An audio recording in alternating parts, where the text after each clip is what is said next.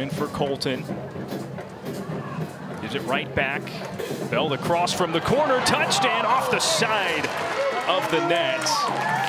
Patterson with an opportunity there because she swept in at the last moment to take away from Poulter. After that, there's not much advancement past that. They're yet to take a shot.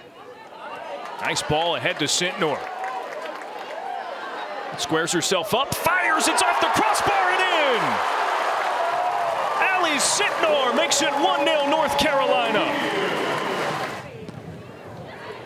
More pressure for North Carolina.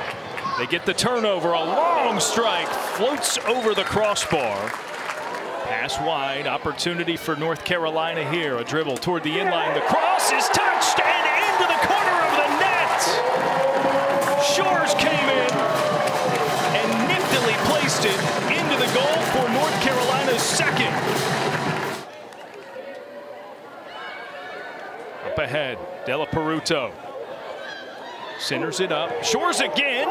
Tapped back and into the goal for her second. It's 3-0 North Carolina. Dickinson couldn't handle it. It was just over her head and went through her hands and in for the goal. Touch forward. Here's Thomas. The turn, the left. Wow, a diving stop made by Dickinson, and she has to jump at it again to Della Peruta ahead. And out at the end line. Contact and a foul. I was in the box, so it's a PK. For Della Peruta.